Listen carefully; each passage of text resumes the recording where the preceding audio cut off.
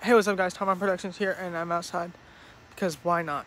But um, any of you guys want to make a diss track with me? Let me know down in the comments, and we'll try to work something out. So yeah, we're gonna make a diss track later. We're gonna have a diss track made. First, we gotta make an exposed video of the person, but and uh, make a diss track.